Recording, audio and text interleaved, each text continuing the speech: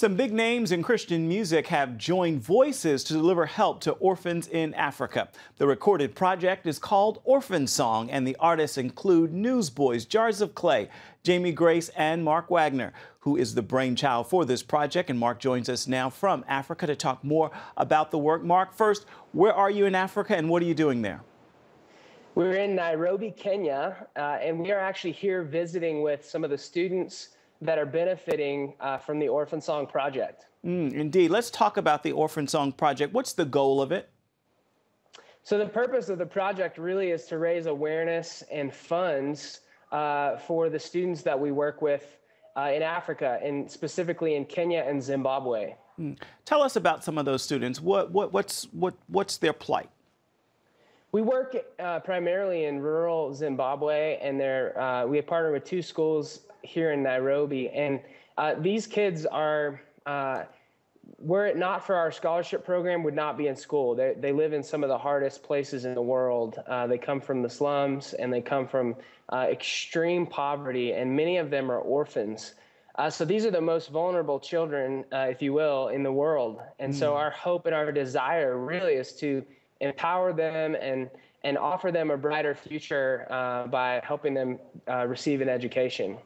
And you've got some great names on the CD. How did you decide who to work with on this project?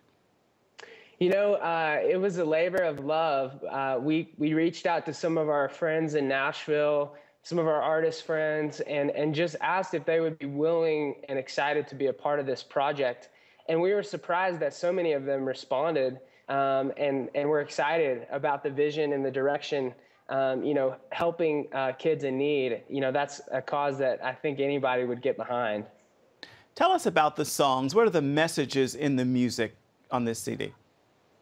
Yeah, yeah, there are a few songs that are actually written for the uh, the project, and then many of them are previously recorded songs from some of the other artists, and and they all carry the theme uh, really of making a difference, um, and the and the truth that God goes before us, that He walks beside us, that he is for the orphan and the widow. And that's really the, the message and the heart behind uh, the project.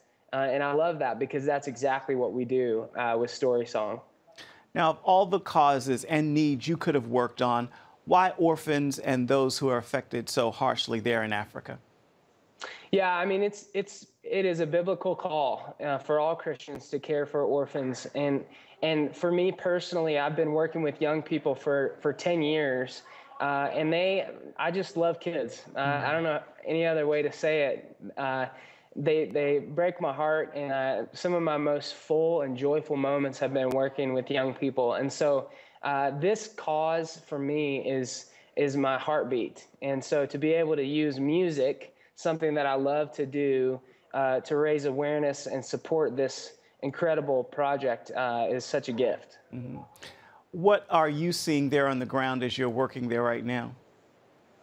The, these kids are brilliant and they are beautiful children, and it is so inspiring to watch them. Yesterday, we visited one of the slums uh, and where one of our schools is located, and they they literally have nothing, uh, but they are so joyful and so thankful uh, because they know that every every good gift that they have it comes from the Lord. I mean, we spent uh, a few hours with our students yesterday, and many of them were uh, quoting scripture memory verses way more than I've ever memorized. so uh, these are first and second grade students that are quoting whole chapters of scripture, and it's amazing to see how the Word of God is transforming these communities. Beautiful, beautiful. Real quick before we let you go, what's next for Mark Wagner?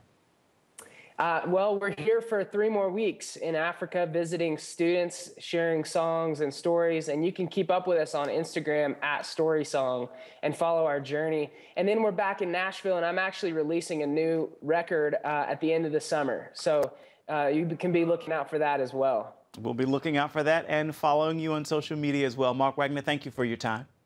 Thanks so much. Great to be with you.